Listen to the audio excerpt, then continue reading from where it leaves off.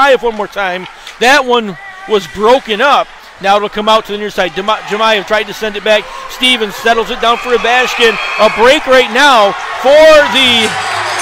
now we got a fight going at the other end of the ice.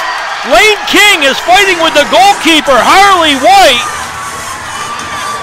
Not sure how this thing started, but all the way at the other end, way behind the play, Lane King and Harley White go at it, and Lane King's going to end up on top of Harley White as they both exchange a bunch of punches in the middle of that melee.